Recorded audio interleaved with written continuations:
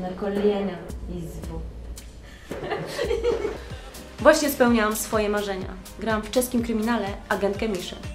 A jakie są Twoje marzenia? Odważ się być tym, kim chcesz. Zapraszam na stronę www.justmust.pl. Czekam na Twoje zgłoszenie.